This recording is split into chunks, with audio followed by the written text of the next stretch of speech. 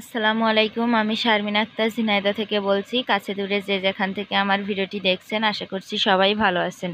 তো বরাবরের মতো নতুন আরও একটি ভিডিওতে নিয়ে চলে আসলাম আপনাদের মাঝে। আর শারমিনস ফ্যামিলি ব্লগের নতুন আরও একটি ভূতের গল্পে আপনাদের সবাইকে স্বাগতম। আমি শারমিন আক্তার আছি আপনাদের সাথে।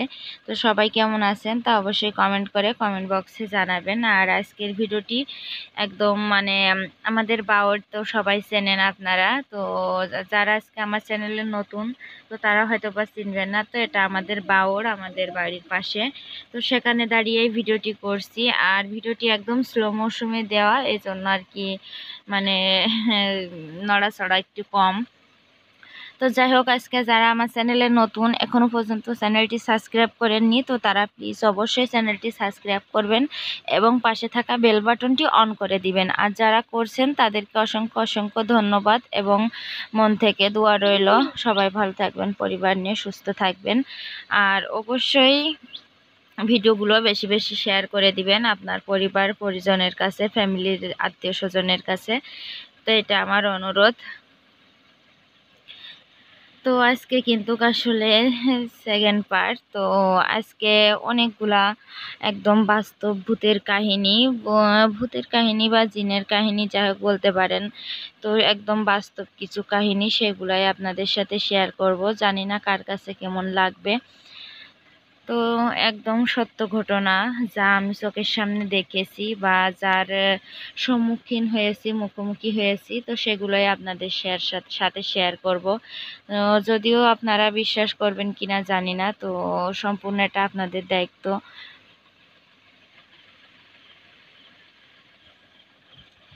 তো এখন যে ঘটনাটা বলছি, এটা দু হাজার বারো সালে। তো দুই হাজার বারো সালে সাতাশ রমজানের মানে বাংলাদেশে তো বিশেষ করে বেশিরভাগ মানুষ সাতাশ রমজানে মানে মানে ছাব্বিশ রোজায় সাতাশে রমজানে তো সবাই সবে কদরের নামাজ পড়ে। তো সেই সবে কদরের নামাজের রাতে তো আমাদের পাশে যেহেতু বাড়ির পাশে বিল আর যেহেতু দু হাজার বারো সালে, তো তখন কিন্তু আসলে আরও সামনে এগিয়ে মানে একদম আশ্বিন কার্তিক অঘ্রাণ মাসে তখনে মানে মানে ঠিক আমার খেয়াল নাই, তবে অঘ্রাণ কার্তিক মাস এরকম বাংলা মাসে রোজা হতো তখন। তো সেই ওই সময় একদম ভরা বৃষ্টি মৌসুমে মানে পানি ভরা আমাদের বিলে একদম আমাদের উঠানের পানি চলে আসতে, এরকম অবস্থা যখন বেশি বন্যা হতো। তো ওই পানির সময় আমাদের ওই ইসে, তো বিলে, ওই বিলে সাতাশে রমজানের। তো সাতাশে রমজানে আমরা তো আমাদের বাড়িতে প্রায় দশ বারো জন মানে আশেপাশের বাড়ি দিয়ে, আমাদের বাড়ি দিয়ে দশ বারো জন মিলে তা আমরা এক জায়গায় আর কি সারা পুরো মাসে তারাবি নামাজ পড়তাম। আর সাতাশে রমজানের নামাজ তো আরও সবে কদরের নামাজের দিন তো আরও বেশি লোক হতো। তো যাই হোক, আমরা সবাই নামাজ পড়ছি আর আমাদের বাড়িটা যেহেতু একদম বিলের সাথে, মাঠের সাথে। তো ওই দিন মসজিদেও মনে করেন যে যত পুরুষ মানুষ সব মসজিদে নামাজ পড়ছে। মানে দু একজন হয়তো বা থাক, ভুল ভবিষ্যৎ যারা নামাজ পড়ে না, তো তারাই হয়তো বা বাড়িতে থাকে। তো ঠিক তেমনই আমাদের একজন ভাই হয় মানে আর কি সুবাদে। তো সে মানে বিলে মাছ ধরে। তো সে মাছ ধরতে গিয়েছে বিলে। ধরতে গিয়ে একদম মানে সে মাছ ধরতে ধরতে হঠাৎ করে তার যে, সেদিনকে আমরা যে দেখছেন যে তাই উঠছি নৌকা, তো ওই নৌকার উপরে কি জানি উঠছে, উঠে নৌকা বারবার মানে তলিয়ে দিচ্ছে, পানির ভিতরে তলিয়ে দিচ্ছে নৌকাটা। দিলে পরে সে মানে অনেকবার এরকম করছে করার পরে সে তাড়াতাড়ি ভয়ে জালটা পেতে মাঠে মানে আর কি পানিতে জাল পেতে তাড়াতাড়ি উপরে চলে আসছে। উপরে এসে বাড়ি ধরতে ধরতে একদম আমাদের বাড়ির থেকে সামনের দিকে একটা মানে মুচির ভিটা আছে মানে নাম সেই জায়গাটার আর কি। তো ওই জায়গাটায় আবার হিন্দুদের, আমাদের যেহেতু মাঠ দেখছেন, ওই মাঠের ওই পাশে হিন্দু গ্রাম মানে ওই গ্রামে সব হিন্দুরা বাস করে। তো ওই হিন্দুরা আবার ওই মুচির ভিটা ওখানে পূজা করে। তো ওই জায়গাটা অনেক খারাপ, ওখানে মানে অমাবস্যার রাতেটাতে অনেক আলো দেখা যায়, অনেক আলোয় কি করে মানে আলোয় আলোয় খেলা মানে এরকম অনেক কিছু আমরা ছোটোবেলায় দেখছি যে অমাবস্যার রাত্রে আমাদের বাড়ি থেকে দেখা যেত অনেক আলো আলো আর আলো, সে মানে এক আলো গাছে উঠতো, এক আলো নিচে নামতো, এরকম দেখতাম আমরা। মা, দাদি আমাদের ডেকে ডেকে দেখাতো যে দেখ, ওখানে আলোয় কি হচ্ছে আজকে। তো যাই হোক, ওইখান দিয়েও সে বাড়িতে যায় মাছ মেরে। তো সেখান থেকে যেতে যেতে সেখানে সে অজ্ঞান হয়ে পড়ে একদম মানে তার হাত পা টেনে ওই মুসির ভিটার ওখানে কিসে জানি নিয়ে যায়। পড়ে যেয়ে তো অনেক শব্দ হয় মানে ভয়ঙ্কর একটা নাক ডাকা মতন শব্দ হয়। হলি পরে আমরা সবাই নামাজ পড়া বাদ দিয়ে পরে আমার দাদিরা আমরা সবাই কই কী হলো মাঠের দিকে পরে যে তাকিয়ে আমরা ভয়ে আর কেউ ই করলাম না যে সাতাশে রমজানের নামাজই পড়ি। এত যা হাই হোক, আশেপাশে দরকার নাই। তো তারপরে যাইয়ে সকালবেলা শুনি যে ওই সেই ভাইকে এরকম ওই জায়গায় জিনে কিংবা ভূতে যাই হোক সেটাই ধরছিল। ধরে পরে সে ওখান থেকে সারা রাত সেখানেই অজ্ঞান হয়ে পড়ে থাকে, সকালবেলা তার জ্ঞান ফেরে। তারপরে হসপিটালে ভর্তি হয়। তো সেই একটা ঘটনা। আর একটা ঘটনা সেটা হলো আমি যখন মানে ওই দুই হাজার দশ এগারো বারো এরকম টাইপই হবে, তো সেই তখন আমি আমি আর আমি আর আমার সমবয়সী একটা ফুপু ছিল আমার। তো আমরা সবাই মানে ভোরবেলা একদম আজানের সাথে সাথে মানে আজান দিচ্ছে ওই টাইমে তাল কুড়াতে যেতাম, তালের সময় হলে তারপরে যখন ভাদ্র মাসে তাল পাকতো তাল কুড়াতে যেতাম। তারপরে বড়োর সময় হলে বড়ই কুড়াতে মানে আর কি গ্রাম অঞ্চলের বাচ্চারা যা আর কি করে সকালবেলা এটা ওটা কুড়াতে যায়। মানে সবার ওঠার আগে আর। আমাদের গ্রামে আরও ছেলে মেয়ে ছিল, ওরাও কুড়াতো। তো ওদের আগে যাতে করে আমরা যেয়ে পুড়িয়ে নিয়ে চলে আসতে পারি। তো এইভাবে করতে করতে একদিন আমি আর প্রতিদিন আমি মানে ঘুমালে ঠিক পাতাম না। তো আমার ফুপুকে ডাক, বলে রাখতাম রাতে যে আমাকে ডাকবি সকালবেলা। তো সে আমার সকালবেলা ডাকতো। তো একদিন কি হয়েছে? একদম ভোরবেলা। মানে ভোরবেলা বলতে তখন ফজরের আজানও মনে হয় দেয়নি। কিন্তু তাল খুঁটার মানে তাল কুড়ানোর লোভে একদম ফজরের আজান দিয়েছে কি না জানি না। তো তখনই আমার ফুপু এসে আমার ডাক দিয়েছে যে, চল তাল কুড়াতে যাই। বা দৌড়ায়ে সেই যে মুসির মুসির ভিটা বললাম, তো ওই ভিটার গুঁড়া দিয়ে যেতে হয়। ওই মাঠটা পার হয়ে তারপর ওই হিন্দু পাড়া ওই হিন্দু পাড়ার ওখানে সে তাল গাছ সারি সারি আছে, তো ওখানে যে তাল কুড়াতে হয়। তো সেই অন্ধকারে একটা ছোট্ট একটা যে দশ টাকার যে লাইট থাকে গ্যাস লাইট। তো গ্যাস লাইটের পিছনে আবার লাইট থাকে, আবার ছোট জ্বলে। তো ওই লাইটের আলো দিয়ে আমরা তাল কুড়াতে গেছি। যেয়ে পরে আমিও দেখছি অনেক তাল। তো আমার একটা তাল আমার মনে আছে যে নিয়ে আমি এরকম মানে বগলের নিচে রেখে দিয়েছি, দিয়ে আর একটা তাল ধরছি, আর তখন দেখি গাছের তাল গাছের গোড়ায় একদম সাদা কি দাঁড়িয়ে আছে। পরে আমি তো মানে দেখে তাল সে বগলের ওইটাও ফেলিয়ে দিয়েছি, হাতেরটাও ফেলিয়ে দিয়েছি। দিয়ে দৌড় দিয়ে বাড়ি ধরছি, বাড়ি ধরে এসে বাড়িতে আসার অনেক পর তারপরে দেখি যে ফজরের আজান দিচ্ছে। তখন তো আমার দাদি আমার কি বকা, অনেক বকা বকছিল, গালিগালাজ করছিল যে এরকম তাল কুড়াতে গেছি। যদি বেসেন ওই সময় যদি আমাকে মানুষের শুনি যে জিনেরা নাকি পুঁতে ফেলাই তারপর মেরে ফেলাই তো দেখাচ্ছে ফজরের আজানও দেয়নি তখন, আর আমি আর আমার ফুপু। আর আমার ফুপু একটু বড় ছিল আর আমি একটু ছোট ছিলাম, তো সে দৌড় দিয়ে পালিয়ে পড়েছে বাড়ি এসে। আর আমি পিছন পিছন দৌড়াচ্ছি আর ওই রকম দেখি সাদা কি? শাড়ি পরা, একদম সাদা শাড়ি পরা। তো তারপরে সেই ওখান থেকে তো কোনো রকম ফিরে আসলাম, এসে পরে বাড়িতে অনেক হাঁপাচ্ছিলাম। তো ওখানে বসে বসে দেখি ফজরের আজান দিচ্ছে তখন। তো তখন তো আমার দাদি প্রচুর বকাবকি করল যে, এরপরে যদি তাল কুড়াতে যাস তো তোর মার কাছে পাঠিয়ে দেবো। হ্যান ত্যান মানে অনেক কথা বলছে। তো ওই দিনকে এই একটা ঘটনা।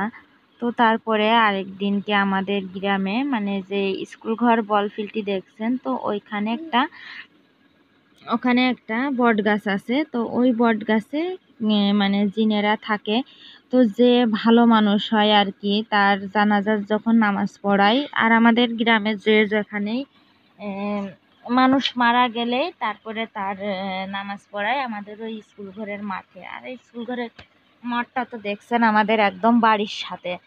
তো ওই মাঠে যখন জানাজার নামাজ পড়াই, তো তখন গাছ থেকে দুটো করে আলো নেমে আসে। আলো, বিশেষ করে দিনের বেলা যা, যদি কেউ মারা যায়, তো তখন জানাজার নামাজ পড়ালে বোঝা যায় না। কিন্তু রাতের বেলা যখন কেউ মারা যায়, রাতের বেলা জানাজার নামাজ পড়ায় তো তখনে দুটো আলো একদম শো করে নেমে জানাজায় দাঁড়ায় আবার জানাজার থেকে শেষ হয়ে গেলে আবার গাছে উঠে যায় দুটো আলো। তো এই হলো একটা কাহিনী। আর আমাদের গ্রামে যে একটা আমাদের সুবাদে ভাবি হতো। তো সেই ভাবির এরকম মানে জিন লাগতো। মানে কোরআন শরীফ পড়তে গেলে থুতু ছিটাতো নামাজ পড়তে গেলে কান্নাকাটি চিৎকার করতো। তো এরকম অনেক কাহিনী করতো। কাহিনী করার পরে তো আমরা তখন ছোট ছিলাম। ছোট থাকলে আমরা কি হতো যেতাম যে যে দেখে আসতাম যে আজকে এইভাবে কি করছে হ্যান ত্যান এরকম। আর বাড়ি এসে গল্প করতাম। তো একদিন আমরা গেছি যে দেখি আমার এক স্বাস্থ্য বোন দিয়ে আমি দিয়ে গেছি যে দেখছি যে এরকম একটা কবিরাজ কবিরাজ এসেছে, এসে পরে সে সে কবিরাজ এসে মানে জিন তাড়ানো আর কি কবিরাজ। তো সে এসে অনেক কথা টথা শুনছে, কোথায় থাকো, কি করো। আর সে ভাবি অজ্ঞান হয়ে রয়েছে, আর সে ভাবি চোখ বুঝা অজ্ঞান, দাঁত লেগে রয়েছে। আর সে মানে দাঁত লাগানা মানে অজ্ঞান হেরেছে চোখ বুঝো চোখ বন্ধ হয়ে রয়েছে। আর সে কথা বলছে টসটসিয়ে একদম টসটসিয়ে কথা বলছে। তো সেই তার ঘাড়ে যে ভূত ছিল সে নাকি কথা বলছে। পরে বলতে বলতে সে মুসি ছিল এই জন্য সে লাস্টে বলল, আমি এক ঘোড়া পানি নিয়ে যাব। তো একদম বড় এক কলসি পানি দাঁতে করে টেনে নিয়ে দূরে চলে গেল ভাবি, আর অমনি অজ্ঞান হয়ে পড়ে গেল আবার। তারপরে যেয়ে আধা ঘণ্টা পরে জ্ঞান ফিরল, তারপর ভালো হয়ে গেল। তাহলে একটা সুস্থ সবল মানুষ এত বড় একটা কলসি পানি, এক কলসি পানি কোনো দিনও সে নিতে পারে না তার দাঁতে করে। আমরা কোমরে কলসি করে পানি নিতে গেলেই তাই কোমরে মানে নিতে পারি না। আর সে দাঁতে করে টেনে নিয়ে চলে গেলো এক কলসি পানি। তাহলে কি এটা বিশ্বাস করার মতন না যে এটা খারাপ কোনো কিছু? তো এইটা দেখছি। তারপরে আরও এরকম টুকটাক এরকম অনেক আমাদের গ্রামে এর মানে একটা লোক ছিল। তার এরকম রাতের বেলা নিয়ে যে ওই টিনের যে ঘর, আমাদের যেরকম টিনের ঘর দেখছেন তো এরকম টিনের ঘরের উপরে রেখে দিত। লেপ কাঁথা মুড়ি শীতের সময়, দেখা যাচ্ছে তার খুঁজে পেত না।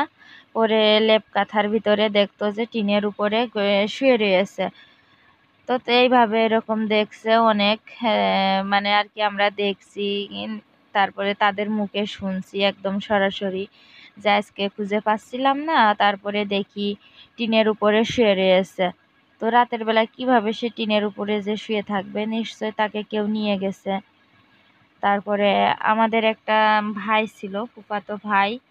তো সেই ভাইকে ওরকম জিনেরা নিয়ে গিয়েছিল, নিয়ে যে তিন দিন রাখছিল। তো তিন দিন রাখার পরে কিছু জিনেরা খারাপ, কিছু জিনেরা ভালো। তো তারা বলছিল, খেয়ে ফেলবে ওকে, মেরে ফেলবে। আর কিছু আবার জিনেরা বলছিল যে ওর মারা খুব কান্নাকাটি করছে, চলো ওকে দিয়ে থু আসি। তো এইভাবে করতে করতে তিন দিন পর তারপরে আমার সেই ফুপাতো ভাইকে তাদের ঘরের পিছনে রেখে যাই। তো এইটা একদম সত্য ঘটনা। আর যেগুলো বললাম, তো এগুলো সবই সত্য ঘটনা। আমাদের একদম চোখের সামনে দেখছি, শুনছি। আর যাই হোক। তারপর যাদের ঘাড়ে যে জিন থাকে, তো তারা জিনের আসর দেয় শনি, মঙ্গলবারে। তো এগুলো কিন্তু আসলে কোনো কুসংস্কার না। জিন জাতি তো আছে আমাদের, কিন্তু ভূত বলে, মানুষে বলে কিছু নাই। তো জানি না আছে কি না। তবে জিন জাতি বলে আছে। আর এখানে যে আমাদের বাউরের ওখানে আমরা দাঁড়িয়েছিলাম, আর ভিডিওটা স্লো মৌসুমে দিয়েছি, এই কারণে এমন। তো আজকের মতন এই পর্যন্তই। অনেক মানে আমার একদম পেটে যত ছোটোবেলা থেকে যত জিন ভূতের গল্প ছিল, তো সব গল্পগুলোই আপনাদের সাথে শেয়ার করলাম। জানি না আপনাদের কাছে কেমন লাগবে। আর হয়তো আমার বক বগিনি একটু হলেও বিরক্ত লাগবে। তো বিরক্ত লাগলে অবশ্যই ক্ষমা দৃষ্টিতে দেখবেন। আর আজকের মতন এখানেই বিদায় নিচ্ছি। সবাই ভালো থাকবেন, সুস্থ থাকবেন। আমাদের জন্য দোয়া করবেন আর আপনাদের জন্য আমি ইনশাল্লাহ সবসময় দোয়া করব, দোয়া করি। তো যেভাবে আমাকে আপনারা সাপোর্ট করছেন, আমার পাশে আছেন, তো হয়তো বা অনেকেরই মানে ইয়ে হচ্ছে, তো তো যাই হোক, এই পথে একজনের ভালো লাগতেও পারে, নাও পারে। সবার যে ভালো লাগবে, এটা কোনো কথা না। তো আপনারা যে কয়জন যে আমাকে প্রতিদিন কমেন্ট করেন, আমাকে আপনাদের সুন্দর সুন্দর কমেন্টগুলো মূল্যবান সময়টা যে আমার পিছনে দেন, তো তাতে আমি অনেক অনেক খুশি হই এবং যা বিশ্বাস করবেন না, তো তখন যে আল্লাহর কাছে কত শুক্রিয়া করি আপনাদের জন্য, যখন আপনাদের কমেন্ট পাই পড়ি।